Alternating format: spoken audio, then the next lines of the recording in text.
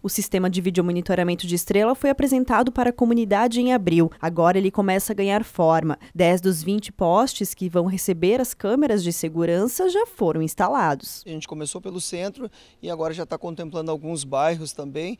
E a gente espera que se as condições climáticas do tempo for favorável e também não tiver muita dificuldade no solo, que existe uma perfuração de solo para que atinja aí a medida necessária para dar segurança a esse poste, a gente consiga aí colocar todo esse equipamento em funcionamento até o final de julho, que é o cronograma previsto inicialmente no dia do lançamento. A gente falou que, que a empresa teria 90 dias para fazer toda essa instalação e, e está atendendo o cronograma. Esperamos que esteja todo o equipamento funcionando até o final de julho. 20 das 24 câmeras que vão ser instaladas podem ser movimentadas em todas as direções. Formas de evitar ocorrências de crime e dar mais segurança para a comunidade local e regional. São câmeras Speed Domes, vamos ter aí 20 câmeras Speed Domes e mais três câmeras de proteção, que são câmeras fixas, que vão ser instaladas em pontos estratégicos de acesso principais à cidade, né? São as principais rotas de fuga da cidade, vão ter uma cobertura especial, mais a sala de monitoramento que vai ser instalada